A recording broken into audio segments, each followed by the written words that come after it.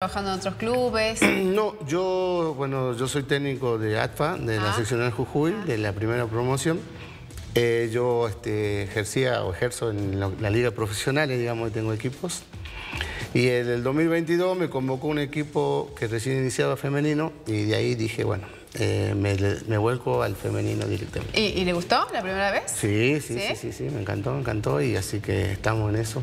Hay que Tengo- lidiar con las Claro, mujeres, ¿no? sí, sí, porque es como, que es como empezar de cero, ¿no? Claro. Por ahí Sí. con el fútbol masculino es un poco más fácil, pero digo, eh, es un desafío y es un poquito más de trabajo también. Sí, un poco más de trabajo. El, el desafío es como en todo equipo, ¿no? Sí. Pero no hay nada en particular con las mujeres, sino hay que saber llevarlas, llegarle, y ese es, digamos, el- lo que trato de hacer con ellas. Y, y, digo, presentó proyecto, lo habló con Matías, eh, no lo dudó ni instante. Digo, un club reconocidísimo Sí. eh, de la capital y de la provincia también. Así es, se, se habló con Matías, llegamos a un acuerdo y le dije, vamos, Matías, sí, vamos, vamos, me animo, vamos.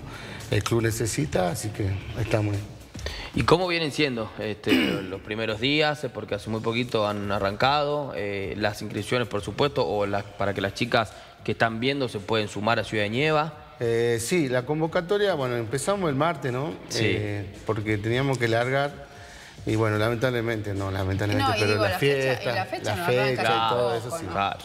Eh, así que bueno, eh, día fijo todavía no tenemos. Ujú.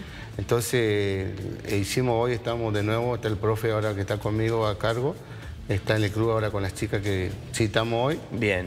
Y estamos esperando que las chicas se animen, se sumen. Ujú.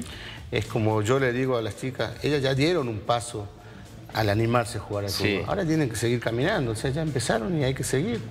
Y eso es lo que yo trato de decirle a las chicas, de que sigan en el camino. Claro. Por ahora en, en el club, están entrenando ahí. Ahora en el club, por ahora en el club. Bien. Ricardo, digo, es empezar de cero porque no queda ni una base de jugadoras. No es que ustedes vienen ya con 10 jugadoras que pueden estar trabajando con ellas. Nada. Es tenemos. convocar de nuevo. Sí, es así, convocar.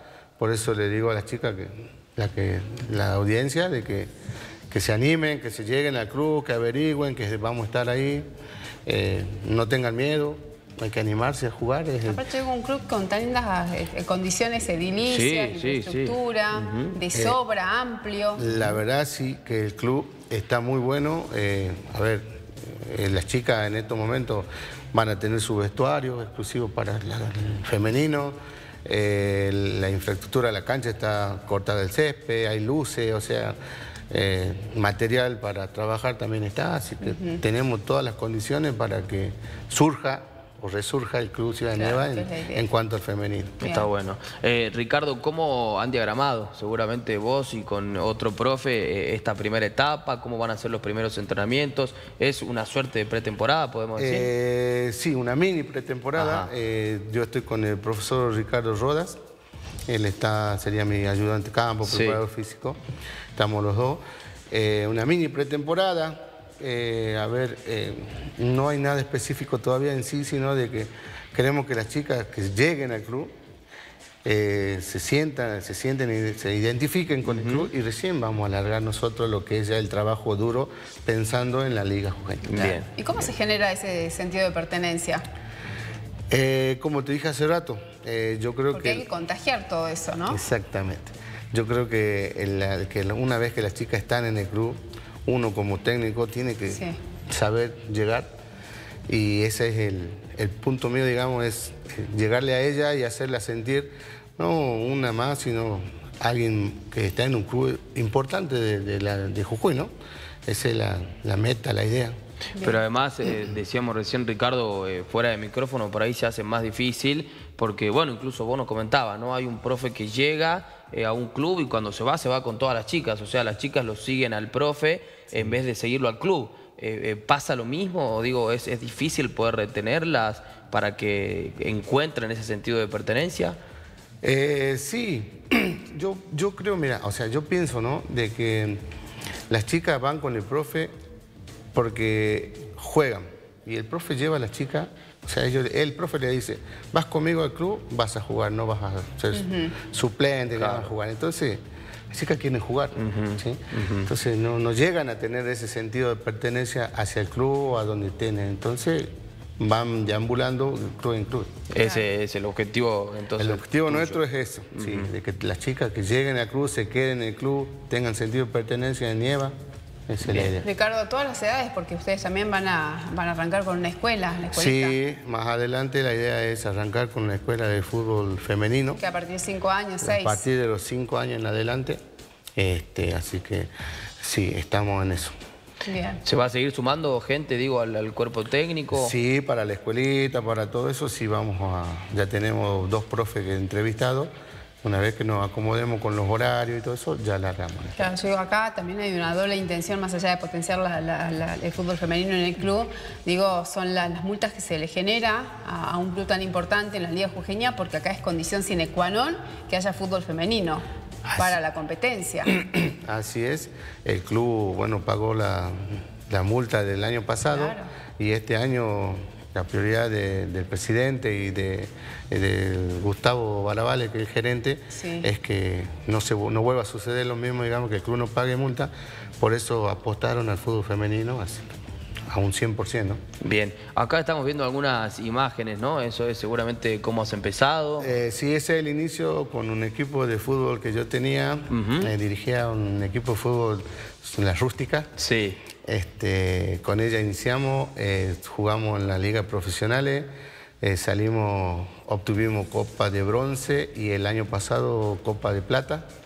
Así que, bueno, inicio con inicié con las chicas. ¿De ahí eh, alguna va para Nieva o eh, Estoy en conversación con varias. Bien. Eh, se tienen que animar.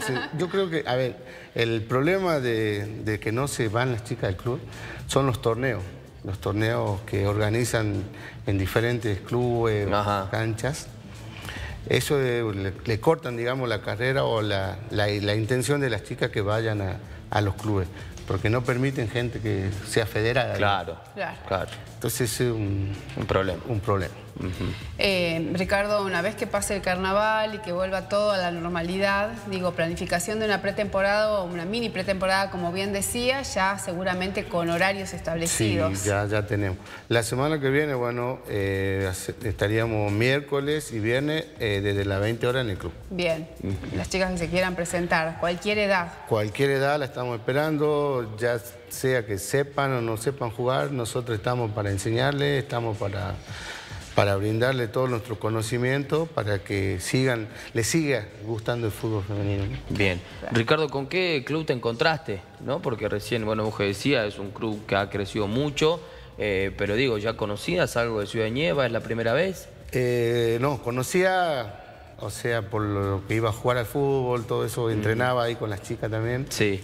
Y cambió un 100% el club, ¿no? En lo que es infraestructura, está todo modernizado, todo, así que la verdad tiene todas las condiciones para ser, o como es, un club de Jujuy, ¿no? Grande. Claro, claro. Además tengo entendido que también eh, les han comprado pelotas nuevas, conos, las tortuguitas. elementos deportivos si tienen. Tenemos elementos deportivos, todo exclusivo, lo que es para el fútbol femenino.